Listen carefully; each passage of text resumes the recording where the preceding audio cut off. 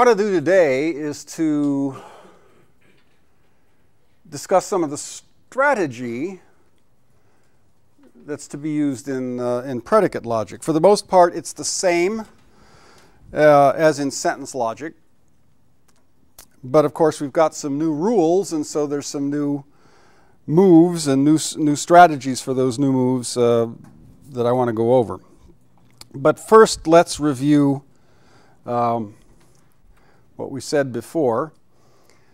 And these simply repeat the SL strategic principles uh, by replacing SD with PD, where PD is uh, predicate uh, derivations as opposed to sentence derivations. The very first thing uh, to think about is to look at the goal. Look at the thing that you're trying to prove. That will give you an immense head start if you can see what you're trying to do.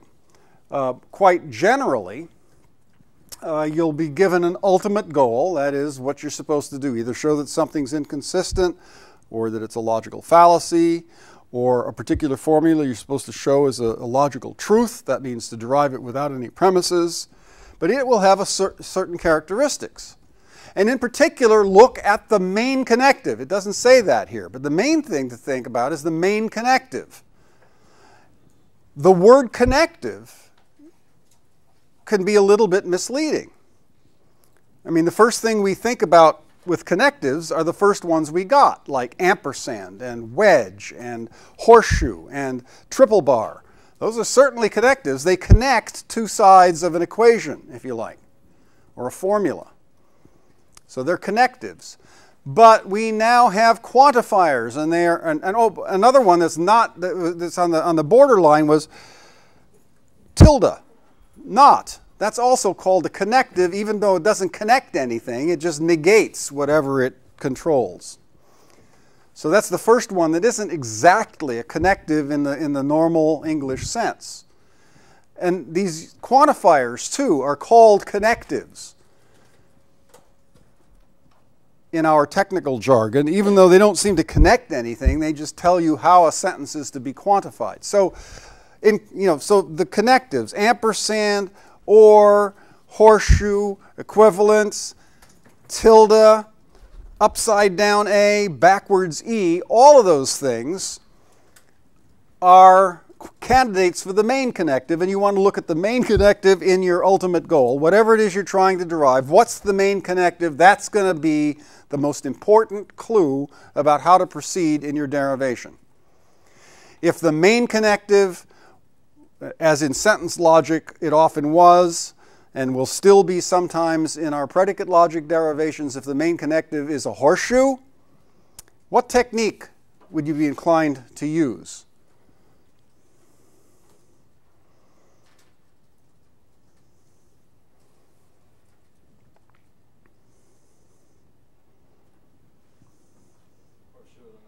Horseshoe elimination, horseshoe introduction. If what you want to get has as its main connective the horseshoe, best thing to do is to uh, plan on using horseshoe introduction and assume the antecedent.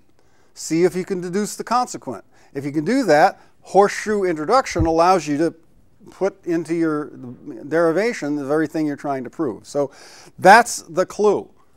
What if you want to uh, uh, derive a something that's universally quantified. The main connective is the universal quantifier, upside down A. Well, similarly here, what you'd want to, I mean, where if you if you're trying to get something with a horseshoe, you're going to use horseshoe introduction. Similarly here, if what you want to get, if the last line in the proof is supposed to be a universally quantified statement, a single universally quantified statement, and that and the universal quantifier is the main connective, then you want to use universal introduction. Again. So look at the ultimate goal carefully, especially look at the main con connective.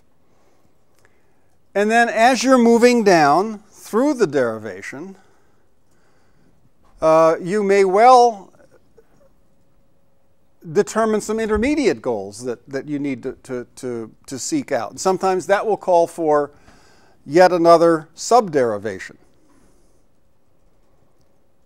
So that's the first part of our strategy.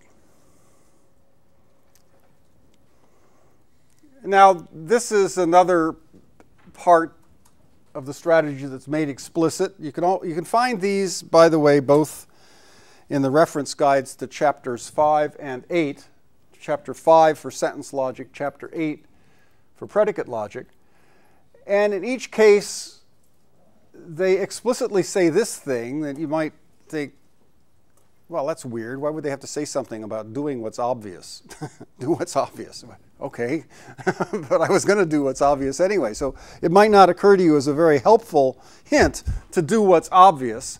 That's not why it's in there explicitly. It's in there explicitly because of the proviso, which tells you don't always just do what's obvious. The proviso says do what's obvious if that clearly moves you toward your goal. Um, both in the quizzes I get back and the, and the work that I see uh, that students do on the Logic Cafe, it's pretty evident that um, you know sometimes you, you just get into a place where you're kind of uh, just trying anything, and sometimes you've got to do that. But the much, much better situation is if you hold off on just sort of doing any old thing that is obvious. Like if you see a universally quantified statement, oh, I'll just uh, instantiate, I'll bring that out. Sometimes that leads you in the wrong direction. And sometimes the cafe uh, exercises are actually set up so as to sort of, you know, make it inviting to go off in that wrong direction. The point of such exercises is not just to make you mad. The point of such exercises is to get you to be thinking about where you're going. I just suddenly think about conversations I'm having with my son right now. Never, forget about that. think about where you're going, what you want to do, and what are some reasonable means to get there. This is good advice for life. but in, in, in the case of logic, it's not so important to remember to do what's obvious. You'll always remember to do what's obvious. The important thing is watch out. Do what's obvious to you if that clearly helps you toward your goals. Don't just take every inviting thing. Like, don't just pull out every damn thing out of a, a, a, conjunction and list that, and then take, you know, do every other thing you can possibly do. You know, if you're absolutely without any clue as to where to go, try stuff. But um, generally speaking, hold out. Try to, try to figure out where you're going and what you're supposed to be doing in the problem. Um,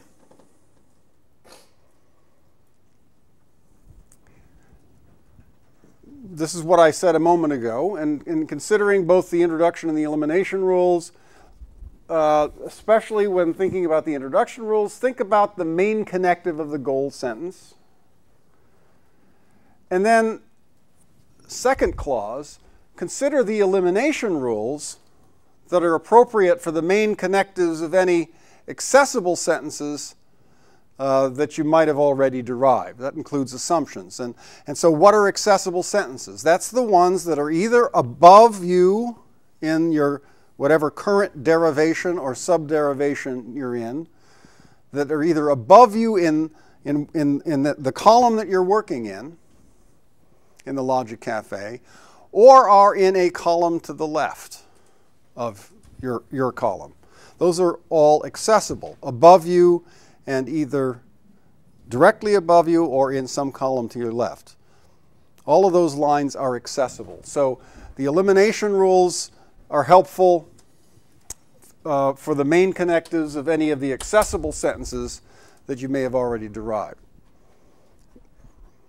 Okay. Any questions about uh, these particular uh, strategic recommendations? And then uh, recycle. After you've done this, uh, you can just go back through the strategic suggestions and, and try them again. And then finally, uh, uh, in one of the circumstances that I envisioned a moment ago? Ah.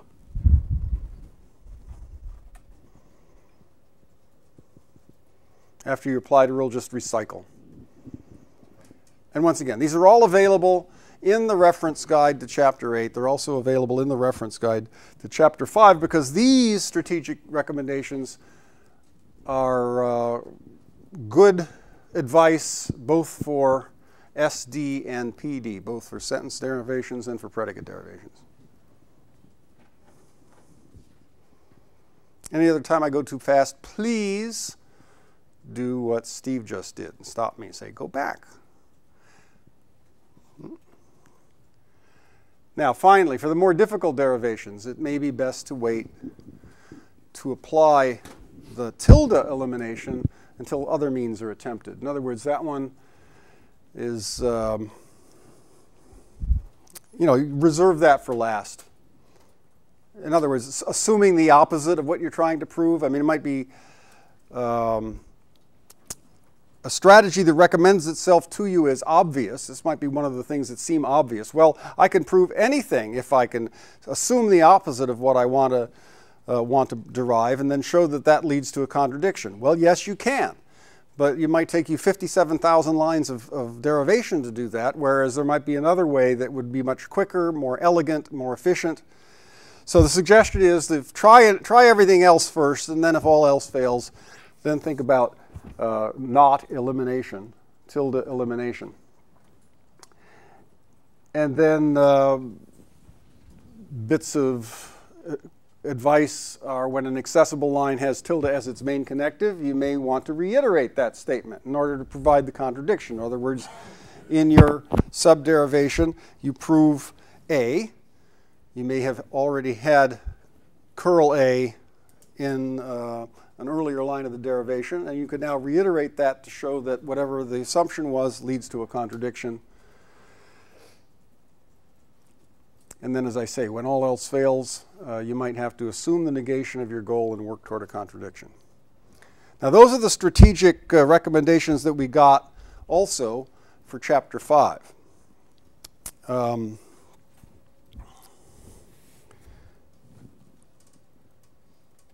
but you got some new ones because we've got both universal introduction and we have existential elimination, two new uh, uh, connectives to work with, and so there's two new bits of strategy. The first one is when a goal has the universal um, connective as its main as its main one, you first try to prove the appropriate substitution instance as a preliminary goal.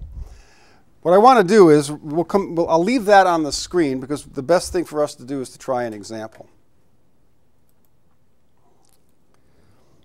Okay. Um,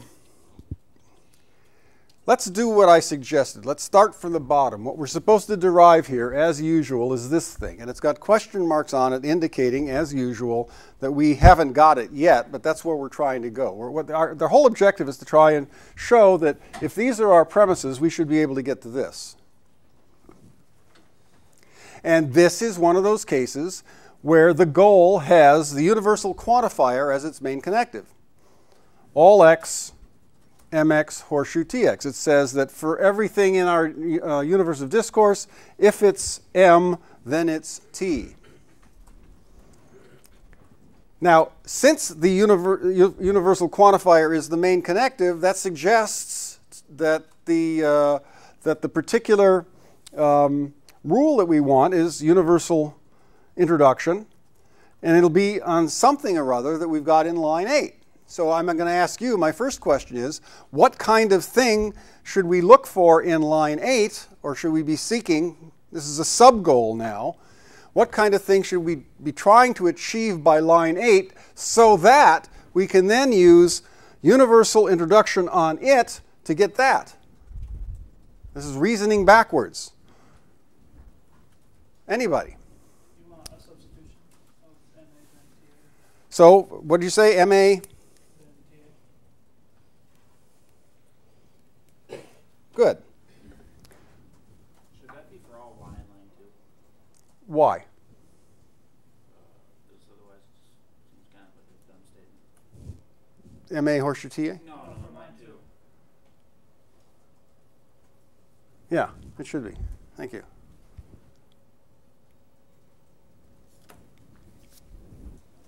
It's a dumb statement without the why.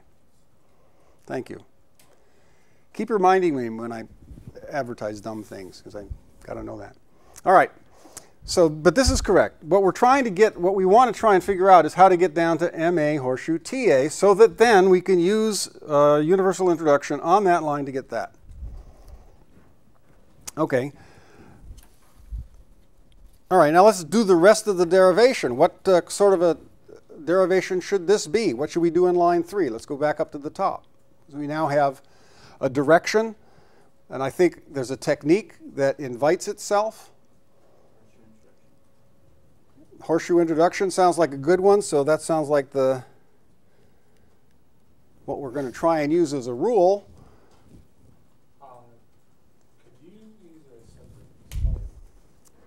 Could I do what? Oh, I yes, I can. I you, you've been messing with yours, right? Okay. Okay. Now you can go back to yours, and I'll scribble in on mine. Okay. Okay.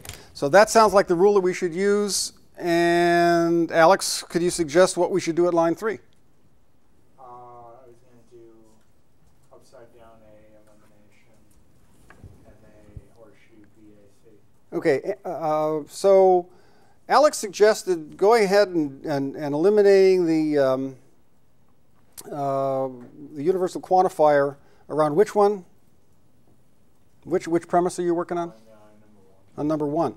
On number one. Um, that's not what I recommend. And since we're focusing on strategy this session, I want to suggest to you that look, if you know what your, your goal is, your goal is to try and achieve MA horseshoe TA down there in line eight. That's what you, or whatever the line will be. We don't know how many lines we're going to have to use here, but that's what we want to get at. How do we do that? If, especially if we, we envision using horseshoe introduction. Someone offer a suggestion as to what to line uh, that what to do in line three that that exploits the thing that we want to do get to. That utilizes this strategy. Look for the goal, figure out what's the best way to get there. Sure.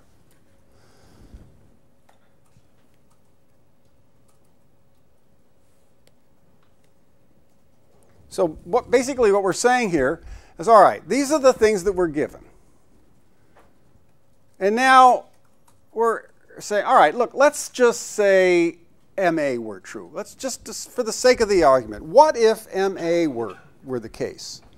We're not committed to that. It's in a subderivation. We're just assuming this for the moment. We're going to have to discharge that assumption, right? We can't use anything in here permanently, and so except insofar as we're allowed to pull it back into the main derivation by one of the derivation rules. So let's assume MA.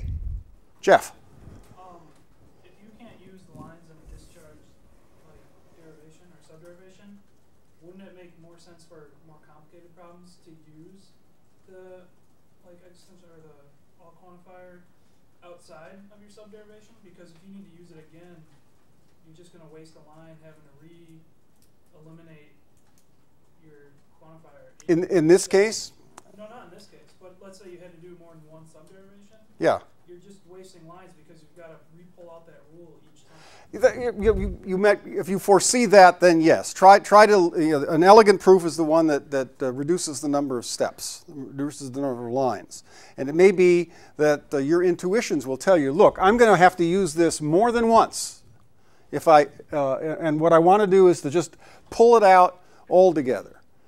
And, and, and so as your intuitions guide you, as if you look at these things over and you say, I want to have this at, at my disposal for several possible subderivations. And I don't want to have to keep unpacking it again for every single one. That's your point, right? I'll do it once now and it'll be there. Fine. What, what I'm trying to explore, though, are some of these strategic suggestions. And I want to show you how powerful they are because they can actually, while they might not always give you the most elegant and shortest derivation, uh, they're pretty unfailing as in, in guiding your intuitions about how to proceed. And that's, I think, where people get stuck more than anything else. They say, I don't know what I'm supposed to do here. And so that's what we're, we're focusing on today is strategy and not necessarily elegance. As one gets really uh, up to speed with, uh, with, with basic strategies, I think you're absolutely right. Sometimes you'll, you'll say, oh no, I don't, I don't want to do it this kind of conventional way. I want to take this out so that I don't have to unpack it two, three different times uh, later. Okay? As it happens with this particular derivation, it's simple enough that we're not going to need to do that. So I want to focus on the idea that since we're trying to get to line 8, let's immediately go to the technique that's going to allow us to use universal um, uh, I'm sorry, um, horseshoe introduction on something in line 7 to get there. And uh, that means assuming MA. Where do we go then? What's the next line? Somebody. If we've assumed MA in, in line 3, what will we do in line 4? Sure, on what?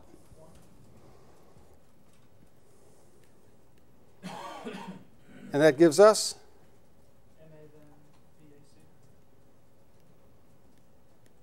And indeed, we choose A because we want to make use of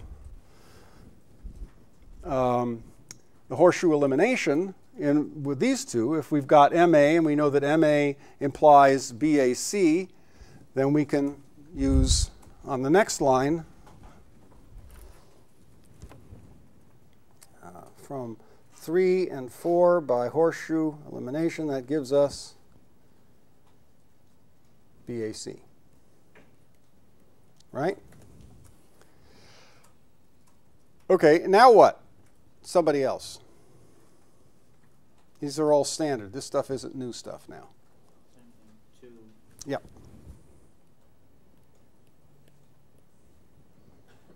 That uh, we're going to once again choose our variables. It's a universal quantifier. This says, line 2 says, for all x, or y, I should, didn't change it on that one, did I?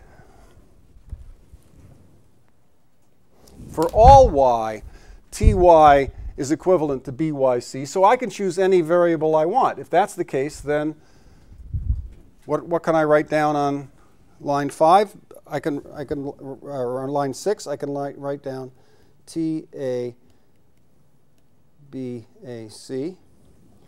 Then what's in line 7?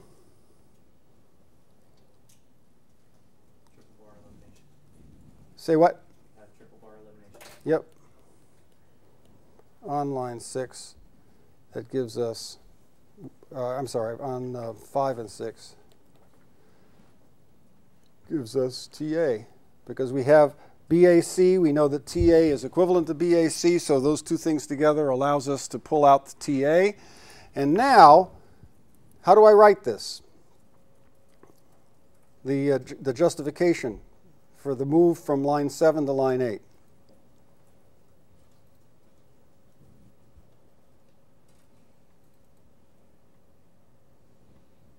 Brandon. The number, numbers I'm looking for.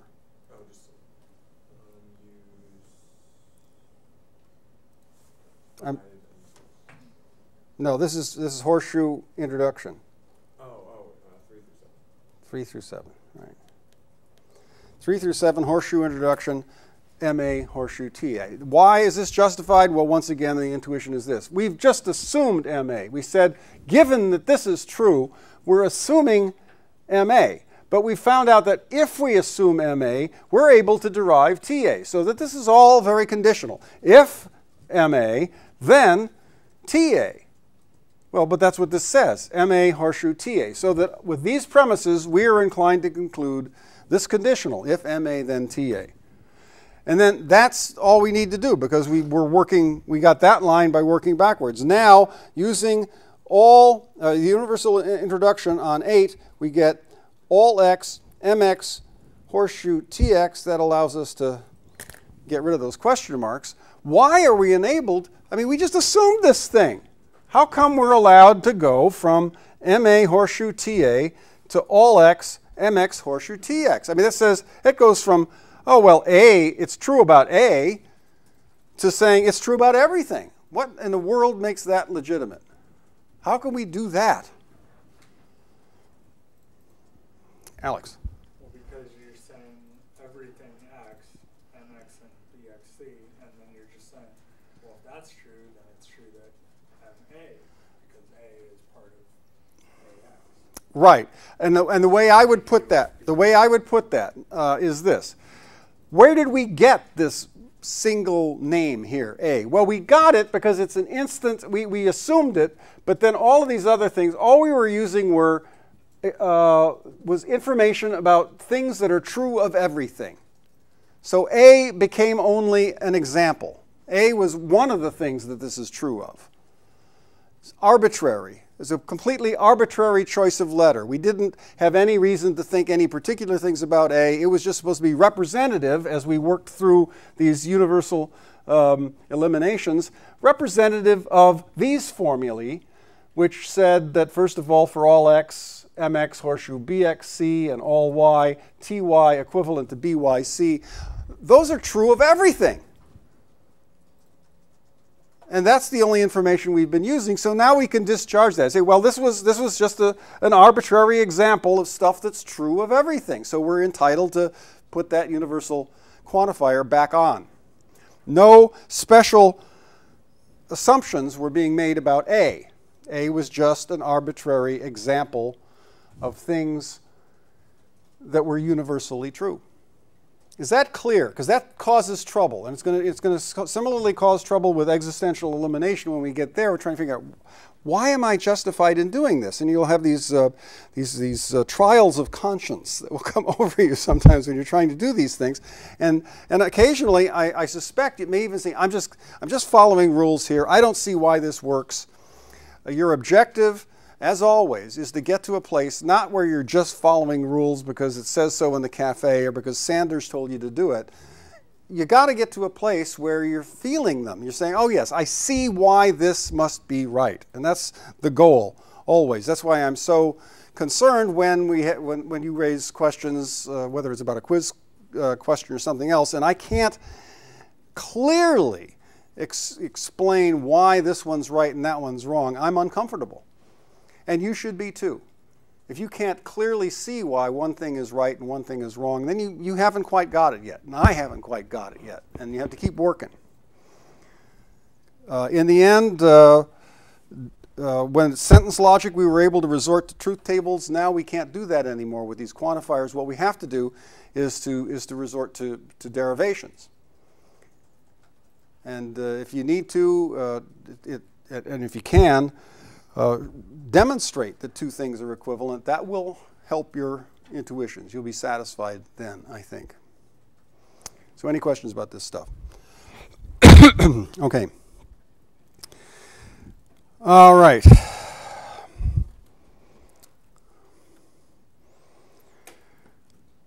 The strategy for existential elimination.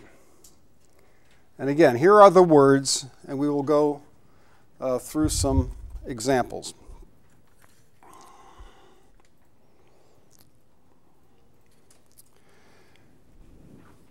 Again, when an accessible sentence, that is a sentence, let's say we're working over here, any from here, these are accessible and these are accessible, right?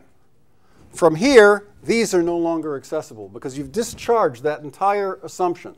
You were just making that assumption for a moment to, in order to get this so that you could conclude this.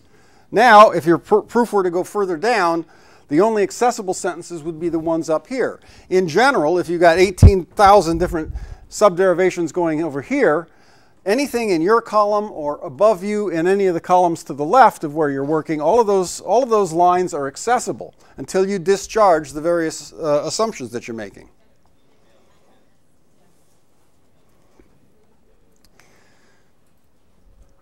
But when an accessible sentence contains a sentence with the existential quantifier as its main connective, you can often make progress by first making an assumption, in other words, starting a new subderivation, which is an appropriate substitution instance, where by appropriate I mean an illustration. When you have a line that says, as, as we'll see, uh, exists x, bx, it says that's telling you, well, there's something in the universe of discourse. There's something that has the characteristic b, the quality b, the property b. Something does. And you don't know what it is. There's, you know, maybe an infinite number of things in the University of Dis- universe of discourse. Not the University of Discourse, that's in Montana, but the universe of discourse. Uh, you may, there may be, you know, any number of things there. Um, so you don't know which one we're talking about. So what are you going to do? Well, you have to say something like, all right, it says that something has the property B. Let's just say that M does, you know, just sort of as an illustration. Something has it Let's give it a name so we can work with it, for heaven's sakes.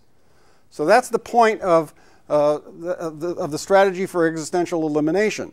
You make an assumption which is an appropriate substitution instance. That is, one that hasn't been mentioned before. That's a nice short way of putting this. If you've mentioned a particular name before, it's probably not an appropriate substitution instance when you're trying to use existential elimination. Why? Well, because you already know about that particular thing. You don't know if this particular thing is the one that has property B. And then working toward your goal, whether it's a preliminary goal or an ultimate one, will require using the other kinds of techniques that we've, we've got at our disposal. But let's go, those are the words, and once again, you can find them uh, in print and online, in the Logic Cafe, in the reference guide for Chapter 8. So you don't need to have to write all this stuff down. Um, so let's go to, find the right one. This, to, and uh, enjoy, enjoy the music in the background, as usual. All right, let's look at this before we get started. Before you write anything, please wait, uh, then, then I'll turn you loose. Before you write anything, there's all kinds of things that you could do with this. This will be one of those cases where we'll want to use existen existential elimination, our new rule. It's easy to see by using the new rules that you've gotten within the last week. There's all kinds of things that you can now do with this. Um, for example, you can start with 1 using IM, and you can say exists y curl AY or LMM. I don't have enough room to write in. And then on that line, you could, um, oh, use, I guess, 2 double negation. That would give you EY uh, curl AY or curl curl LMM. And then that would that that's a, a way of going to um, using De Morgan exists y curl a y ampersand um, curl l m m right and then now we've got that we could go from 4 by quantifier negation and we can go that gives us this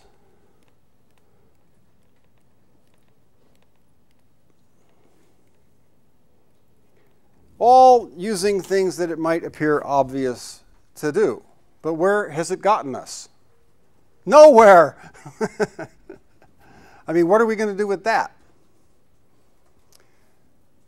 Now, there might be some circumstances in which it's useful to have that, but we've just added four more lines to the derivation without getting appreciably closer to the goal. So, one reason for being very careful to pay attention to that proviso I mentioned is, you know, there's all kinds of things that might appear obvious, and you should use obvious tricks when you don't see anything else to do, but always keep your eye on the goal. I want to get down there. What kind of thing does it look like I might want to use down there in order to get to that? Yes, horseshoe introduction. Horseshoe introduction is, is, is, a, is something we'll use in the proof, but let me uh, suggest to you that uh, right now uh, we'll try and get this, we'll try and use that out here, okay? But what we want to do is to do uh, an existential elimination on that, and we'll, uh, we'll follow your advice in a subderivation. So let's work with the existential uh, elimination principles. What it suggests that you do, and this is something that's always true of existential elimination. In the last line, what it does is simply pulls bodily whatever you had in the previous line, pulls it back from its subderivation into the derivation, into the derivation proper. Okay?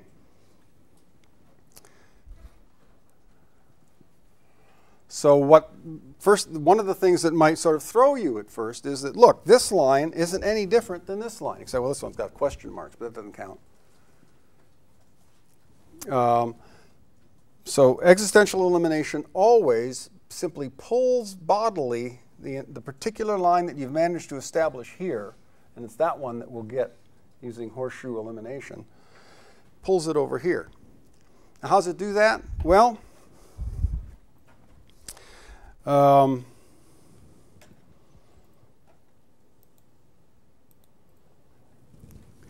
it begins at the top, and this is also always, if you've got an existential premise that you're working for, or a line elsewhere, it might not be a premise. It might be some line earlier in the derivation, or it might be a line in a subderivation. But if you've got a line above you, one that's accessible, that is, one that you can work with, if it's, if it's main connective is an existential quantifier, well, what you can do in a subderivation, you always have to come one column to the right to do this. What you can do is simply take use a proper substitution instance of it. That is, use a name that's different than any other name that's been used before from the domain. So this says something has the characteristic that if it's a y, uh, if it's a, then no mention of a, then LMM. So here what we do is assume AA uh, horseshoe LMM, which simply means Look, this says something has this characteristic. Let's just work with A. That's the one we're going to work with. Let's let A be the thing that has the property of if it's got capital A, then LMM. Okay, there's that. We start with that. And then we um, ask ourselves, how are we going to get to this conclusion And we already have the answer. Uh, this looks like we want to use uh, horseshoe introduction. And that would suggest that uh, we do this. Okay? Now let's let's proceed from there. I'm, I'm still wanting to so we're going to assume this Okay, so we assumed this here, and now we're assuming that under these circumstances. What, what should I do next? Kay, do you see what I should do? No. Okay. Alex? Two, three, and horseshoe uh, elimination. Can't do that. Why can't I do that? Why can't I do two and three horseshoe elimination? Are you telling me, Jamie? I can't hear you. Yeah, doesn't make sense. Because, because the antecedent of two isn't three. But it's, it's one step away from that, Alex. You're not wrong about the general concept, Trent. You do one uh, existential, the existential elimination? You don't need to do that. And that's, that, that's, by the way, is what we're going to wind up doing in line 7. But I've got all x ax in line 3. What will that allow me to do in line 4? Tiff Melissa? Yeah, by universal elimination on line 3, I can say AA. And then what?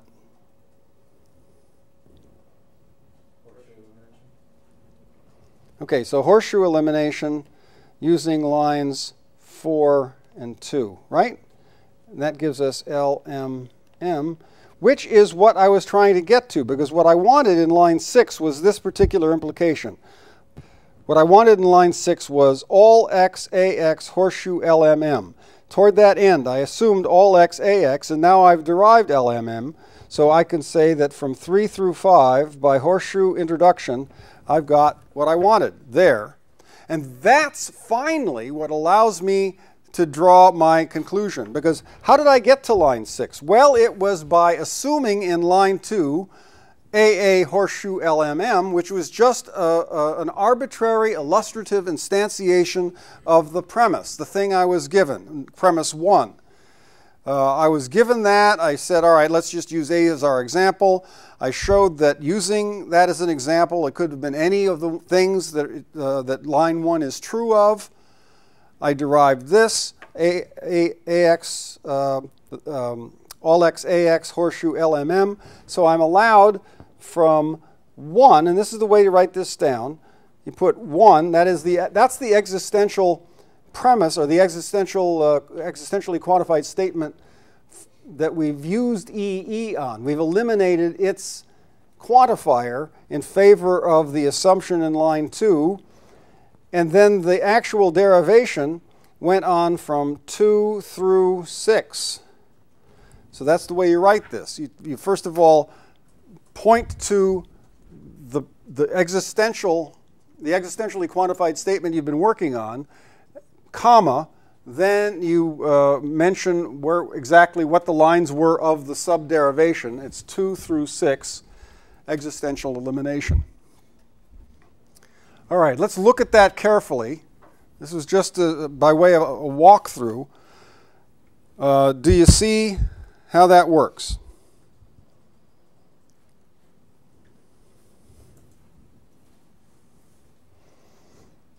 The two things I want you to focus especially on are these.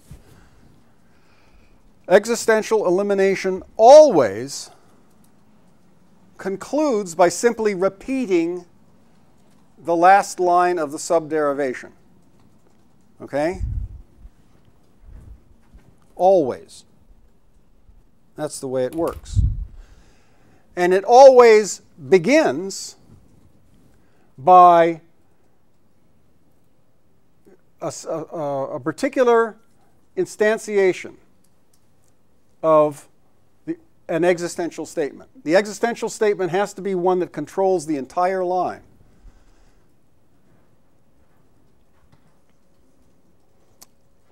You can't use this method on a line that has an existential quantifier someplace within it. And then you want a particular substitution instance of it that isn't prejudiced, that doesn't talk about, doesn't use a variable that you've used before. Because all this does is it tells you that there's, there's something in the universe of discourse that this is true about. And you're saying, call it A. I don't know what it is. Just call it A for a minute. We won't depend on this. And so that's how this proceeds. And then finally, this is always the way that you cite the, the lines for existential elimination. You cite the line of the existentially quantified statement you've been working on, comma, and then the lines of the subderivation connected by a dash. All right. Let us work through some other ones. Okay, what I'd like you to do is work on this. This should illustrate uh, universal introduction. These are pretty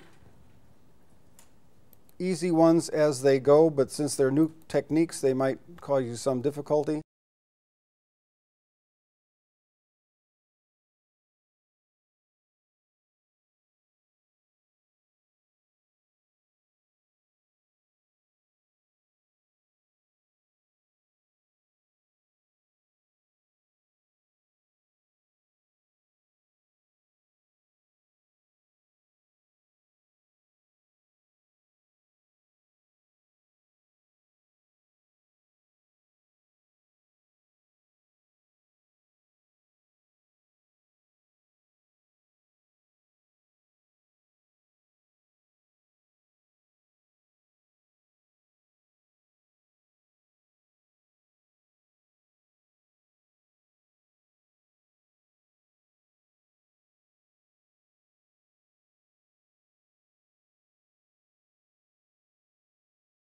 Okay, um, let's.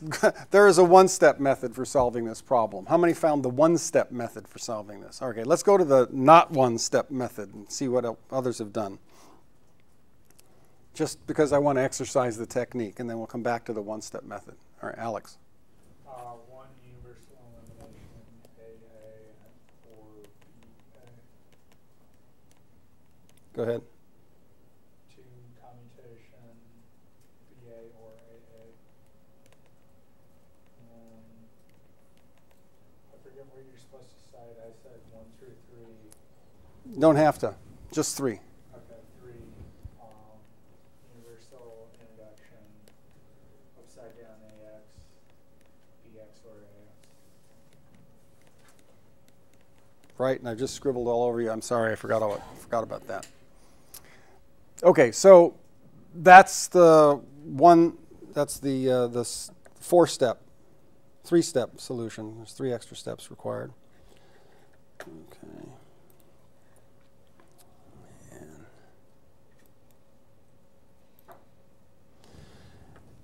And f- as for the one-step method, Alex also. I is just one commutation All right.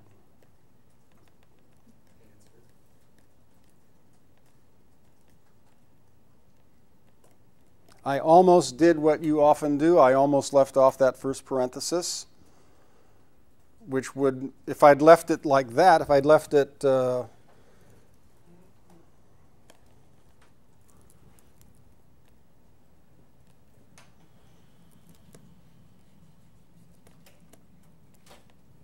if I left it like that, that's just not a formula of predicate logic.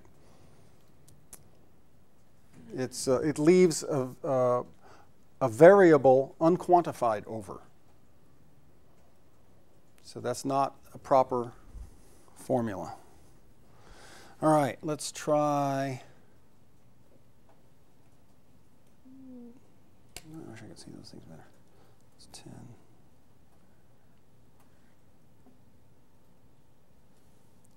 Let's try this.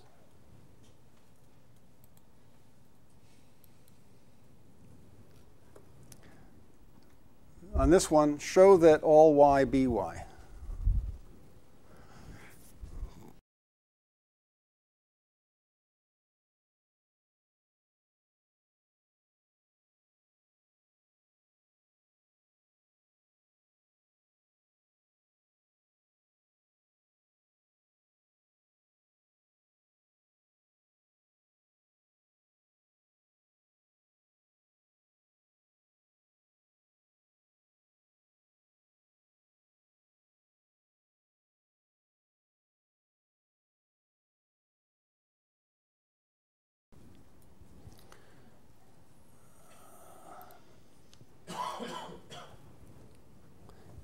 Uh, Kimberly, what, what should I do with uh, the, f- uh, line two? Um, I did one, uh, upside down AE. And I got AY and BY. Okay, y is not right. Because what you want is now a name, and y is another variable. Every all of the lowercase letters after v, w, x, y, and z, all of those are variables. And what you want is a name, because we're trying to find an instance, uh, you know, substitution instance for that formula. And what qualifies are the lowercase le- letters up through u. So choose another one. Yeah. The much abused ones. By the way, I noticed some folks on the quiz um, were getting tired of using x's and y's all the time and began to try to use other other lowercase letters as variables. And yet, be cautious about that because one of the, the convent, part of the convention is that you have to use only the lowercase letters after after v, w, x, y, and z as variables, and the ones before are, are um, names that you can use. But be, be cautious about that. Okay, uh, after line two, what's the next step? Uh, Kimberly, keep up with that. Uh, line two and elimination, hmm BA. Okay. And then line four is three, upside down A introduction. absolutely right. A, a y is what we want. Except that, yeah, what we're looking for, we could have done x, but what we're looking for is a y, b y, so that's what we do here. And it doesn't matter. Even though you started out with x, it just says, that's just a variable. So you just, you, once you cleared that, you can go back into w. Yeah. Is there really lets you change the variable? So we could just do one, change it to upside down AY, AY, and No rule like that because it's so simple to do. There's no rule like that So you can just do that? No, you, you have to do something, you know, like if you wanted to prove A, Y, you know, all Y, A, Y, and B, Y, you'd have to go through a song and dance. But it probably wouldn't be a problem that would, you know, wouldn't be a problem that would come up in real life if you ever were using quantification to, you know, try and symbolize a line of reasoning. And I don't think he's going to, I know he's not going to throw any problems like that to you anymore. Those were problems earlier when he was trying to demonstrate, demonst- you know, various demonstration techniques. But no, there's no rule that says that you can simply substitute. But you know, you can. You could just write. I mean, you could just write all y, or all x, ax, and bx using any variable at all. In a proof, though, you have to be more cautious because you might have those other variables being used elsewhere in the in the proof. I mean, in this particular example, there's only one variable that appears anywhere, so it can be anything. But in another proof, you might have another line that has y or w or z or something else, and you can't just interchange variables for that reason, I think. Okay, any questions? I want to at least do one uh, that illustrates um, existential elimination. Let's go with that one.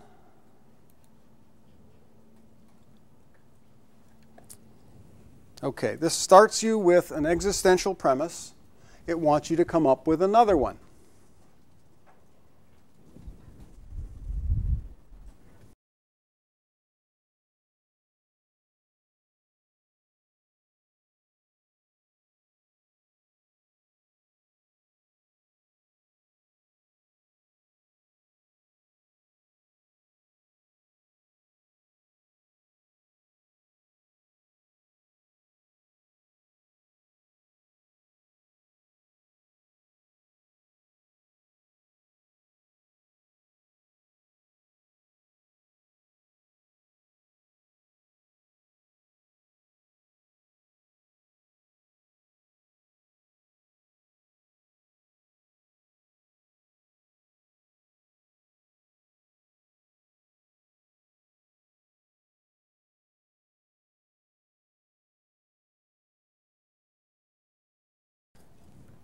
Okay, Russ, do you have some thoughts about what to do on line one? Or two, I mean? Okay, we don't say that yet. That's going to be the way that we draw our. Matter of fact, it'll be down here someplace. We'll have EE will be the last line, wherever the last line is, okay? But you're right, we want to start one. How do we do that? That was how I started it. Well, what did, where, did you start a subderivation?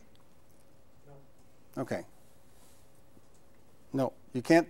Uh, this is, uh, existential elimination is a fairly complicated process because uh, while you know that something is both T and L, you don't know, for example, that A is. You don't know what is. Okay. So you can ju- what you can do is you can say, okay, let's just call it A. All right. But you're going to have to discharge that assumption that it's A in particular that has T, A, TX, T and L. You have to discharge that assumption before coming back. Because you can't know, it doesn't tell you which, which of the many uh, members of the dom- domain have T and L. It just says that one or some do, at least one does. It doesn't tell you which one it is. So you can't assume of any of the particular items in the domain that it's T, or I mean, you can't conclude that anyway. You can say, all right, look, I don't know which ones are T and L. I don't know which ones this line is referring to. I just know that some are. So let me just take as an illustrative example one of those. Let's just say it's A. Okay? And when you go, when you do that in a normal argument or a, nor, or a normal uh, discussion with somebody, you're not committed to it's being A. You're just saying, all right, look, let's just take an example. Let's take an arbitrary uh, object that has both the property T and L. Some do, so let's just take one for example. I don't know which one it is, and so that, and then you have to give it a name to work with it. So you give it the name A or B or C, or give it some name. But you got to do it over here because it's conditional. All right. So having said all that, I'll write. Is this what you wrote on line two, though? I mean, something like of that form. Okay. The way it has to go in is as an assumption. Okay? You have to assume it. You can't just write it into the derivation. And, you, and so that when you assume it, you don't have to give it any kind of a justi- justification. You're just saying, I'm assuming it. Okay. All right. Looks like the way you're responding is, oh, you understood that part. And, but so where would we go from here then? Um. Yeah.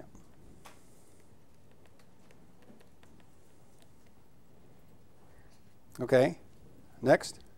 And then, well, I had done, um, I had done uh, uh, uh, existential introduction. That's fine. That's good. So, so if see, we've chosen some arbitrary member of the class of things that this applies to. We've chosen that as our name. We know that something does this, and so we're just saying, all right, one of them. Let's talk about one of them. We don't know which one. We derive this from that. This is a very simple derivation, a very simple exercise, but you know it shows the it shows the principles that are used in this derivation quite well, I think. And then we do exactly what you did. We in the de- subderivation, we do an existential instantiation because since we we know that there's something that has those properties mentioned in one, and we've chosen this as an arbitrary example, so that we know that there's something we don't know which one. We don't know anything about A in particular, but because that was just the name that we gave to the to, to an example. We know what are we trying to do? Y. We can use choose Y as our variable. Ty, right? And that's what you did, correct? So by from three, we could assume that since A, you know, if it were true that A did that, then we would be allowed to, to conclude that EYTY. And then that allows us, I've done it way down here, from one, which was the existential, uh, existentially quantified statement we unpacked, and two through four, which was the subderivation, we use uh, existential elimination, and we get the very same thing that was up there. So once again, I repeat what I said before. In existential eliminations, you're always simply moving this line, the previous line that you got to, into your main derivation, or at least into one that's closer to the main derivation. You might be working way out there, but you bring it back into the next closer uh, derivation line, and it always assumes a legitimate uh, substitution instance of, uh, of the existential formula that you're using. And by legitimate or appropriate, uh, whatever the word that you might choose is, uh, it's one that hasn't been used before because it's just supposed to be an arbitrary example of one of these things that this says is true.